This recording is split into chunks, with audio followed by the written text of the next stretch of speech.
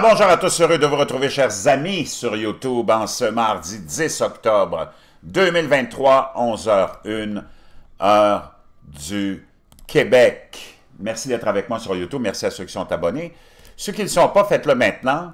Et merci à tous ceux qui m'envoient des liens, des messages, c'est vraiment très apprécié. On n'a pas le choix de revenir sur la situation en Israël qui va s'intensifier, qui va nous amener de plus en plus proche d'un conflit mondial. Et c'est une question de temps. Et ça, c'est une autre espèce de, pierre qui est déposée, qui construit hein, cette guerre-là mondiale, qui est euh, à quelques semaines, probablement, de son début. C'est certain que c'est dramatique. Les populations civiles sont toujours les victimes des deux côtés, des trois côtés, des quatre côtés, à travers euh, la planète. Hein. tous les conflits sont toujours un, fardeau, une misère pour la population. Les dirigeants, les organisateurs de ces conflits-là, de ces guerres-là, sont toujours à l'abri, sont toujours protégés. Maintenant, dans cette attaque qui a surpris Israël apparemment, et surpris les services de renseignement américains, une question qui se pose, qui est très légitime, c'est comment on a pu déjouer les deux services de renseignement les plus équipés, les plus performants, les plus puissants au monde. Service de renseignement israélien, service de renseignement américain. Avec les technologies les plus puissantes, avec les moyens les plus sophistiqués. Tu sais qu'on juste les Américains pourraient enregistrer les conversations des 8 milliards d'individus que nous sommes sans problème, les écouter, les répertorier avec l'intelligence artificielle pour les identifier comme euh, menaces ou quoi que ce soit, ça se fait très rapidement. Et il ne faut pas que tu oublies que tous les groupes de ces régions-là qui sont suspectés d'être des groupes terroristes ou des individus euh, associés à des groupes terroristes sont surveillés 24 heures sur 24. Le gouvernement iranien est surveillé 24 heures sur 24, espionné. Le gouvernement euh, du Liban, le gouvernement euh, de la Syrie, tous les gouvernements sont espionnés par, surtout, le gouvernement israélien ses services de renseignement et le gouvernement américain. Les preuves sont là, ça a été exposé à maintes et maintes reprises. Donc, comment on a pu déjouer cette forteresse, cette barricade historiquement euh, solide que sont ces deux services de renseignement-là qui travaillent conjointement.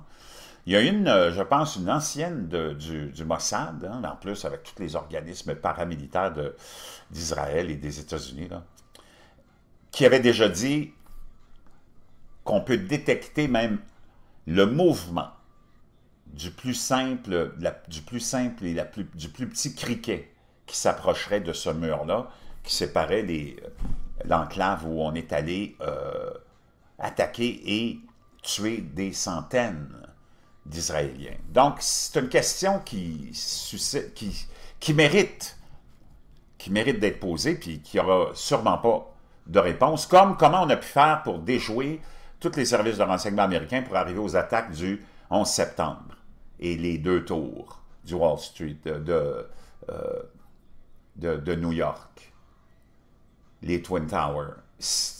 Une autre question. Puis ces deux événements-là vont changer le monde, comme les attaques du 11 septembre avaient changé le monde. Le monde n'était plus pareil par la suite.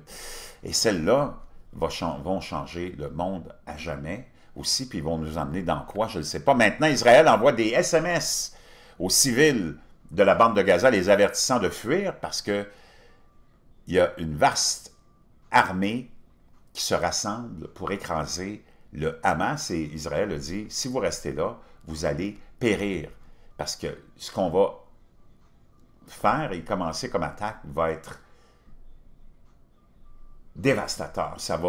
On parle d'une destruction totale de ce qu'on veut euh, voir arriver.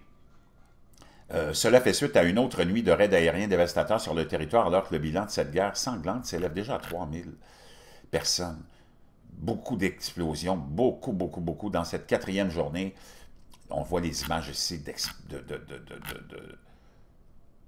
de, les raids aériens euh, sont sans cesse. Bang, bang, bang, bang, bang, bang. Et l'armée israélienne dispose de chars d'artillerie et de milliers de commandos d'élite prêts à lancer une invasion terrestre.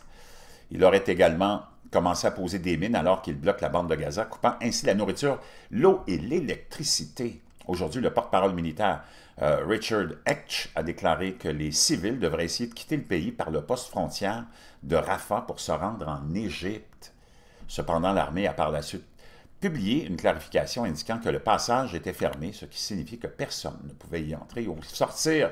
Cet avertissement intervient alors qu'Israël se prépare à déclencher sa vengeance avec le premier des 300 000 soldats arrivant à la frontière prêts à une invasion terrestre à grande échelle. En réponse aux menaces du Hamas d'exécuter certains des quelques 150 otages civils, Israël a riposté avec des frappes aériennes incessantes sur la bande de Gaza, frappant la ville avec 600 avions de combat et 300 tirs de roquettes. Des boules de feu ont éliminé à plusieurs reprises la ville de Gaza avant l'aube ce matin, tandis que des explosions rétentissantes et que des sirènes hurlaient. L'armée israélienne a déclaré avoir rétabli, rétabli le contrôle total de la frontière, ajoutant qu'elle avait récupéré les corps d'environ 1500 combattants du Hamas. Lorsqu'on lui a demandé si Israël considérait le gouvernement civil du Hamas comme le Parlement et les ministères comme des cibles légitimes, le responsable israélien a répondu que si un homme armé tirait des roquettes depuis là, cela deviendrait une cible militaire. Le premier ministre Netanyahou a qualifié le Hamas de pire que l'État islamique dans un discours accablant dans lequel il a promis de le détruire. Netanyahou était furieux, des enfants ont été exécutés, des familles entières exterminées. Il y a eu des atrocités, je ne le décrirai pas ici. Donc, wow! Je peux dire une chose, ça va chauffer. Israël a menacé l'Égypte de frapper tout camion transportant de l'aide vers Gaza via le terminal de Rafah. Maintenant, dans le monde entier, comment ça va se présenter, tout ça, l'antisémitisme dont on se plaignait qu'il avait augmenté, euh, avec ça, va euh, cette riposte-là imagine-toi, s'intensifier. Le Daily Mail nous rapporte que des manifestations israélo-palestiniennes à l'Opéra de Sydney ont eu lieu, colère alors que les Juifs sont invités à rester chez eux et éloignés, à s'éloigner des manifestations, tandis que les, euh, gens euh, radicaux crient d'ignobles commentaires antisémites, lancent des fusées éclairantes et scandent « gazer les Juifs ». Donc ça va vraiment pas bien. Ça, c'est en Australie. Imagine-toi, aux États-Unis, à Montréal aussi, des, beaucoup de manifestations euh, anti-Israël, pro-palestiniennes, alors que c'est le Hamas qui a attaqué Israël. Mais enfin, moi, j'ai, je prends aucun, aucun des partis ici, c'est pas mon problème, ça ne me regarde pas, je peux rien y faire de toute façon. Moi, je suis là juste pour vous dire que les autres sont même pas capables de s'entendre entre eux autres au niveau des dirigeants palestiniens. Imagine-toi la complexité de ça. Je ne pense pas qu'on puisse y faire grand-chose. Israël frappe Gaza avec des frappes aériennes les plus féroces jamais vues. Israël a bombardé mardi la bande de Gaza avec des frappes aériennes plus féroces, les plus féroces depuis 75 ans d'histoire de conflit avec les Palestiniens. Maintenant, un autre grand titre, Israël s'engage à punir Gaza, alors que la région et le monde ressentent les répercussions de l'attaque du Hamas. Donc, tout ça va être vraiment, euh, ça va nous amener petit à petit euh, dans euh, ce conflit mondial qui s'en vient, qui est une question de temps. Pendant ce temps-là, Israël accuse l'Europe de l'attaque du Hamas parce qu'il y a beaucoup de propagande antisémite qui est financée par l'Union européenne. Donc, chers amis, suivons ça de près parce que c'est probablement l'événement qui va nous amener dans un conflit sans fin. Malheureusement, les populations, encore une fois, mondiales vont y passer, vont y goûter, pendant qu'il y a toutes sortes de choses qui vont se passer. Derrière ce conflit-là, on va nous faire avancer l'agenda de l'ONU, l'agenda euh, de la biométrie, l'agenda de l'argent, euh, de la crypto-monnaie, des gouvernements, l'agenda de tout ce que tu peux imaginer. Wow!